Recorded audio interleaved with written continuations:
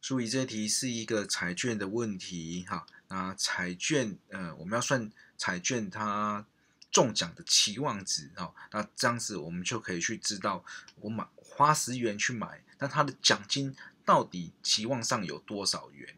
好，所以要处理这个东西呢，就是一样哦，几率乘价值。好，所以现在一百万只有一张，好，可是它是怎样呢？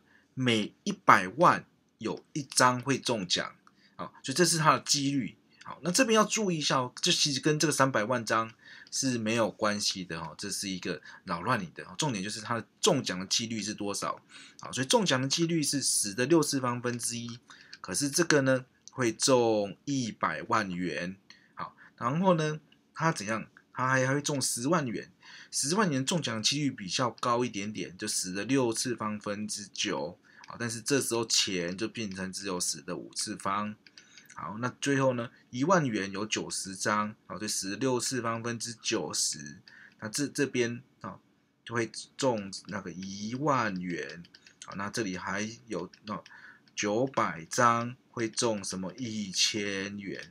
好，所以这几个乘起来哈，其实把它加总起来就是答案。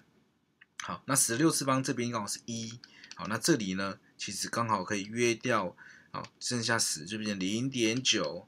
那这个呢，其实约掉，呃，这里用约掉也是剩下是那个十的一次方，所以这里也是哎零点九。最后一个呢，哈，这里也是约掉了五个，所以也剩下零点九。所以我的中奖的期望值就会变成什么呢？一加上二点七，就是三点七。啊，三点七是期望上，嗯，会得到的。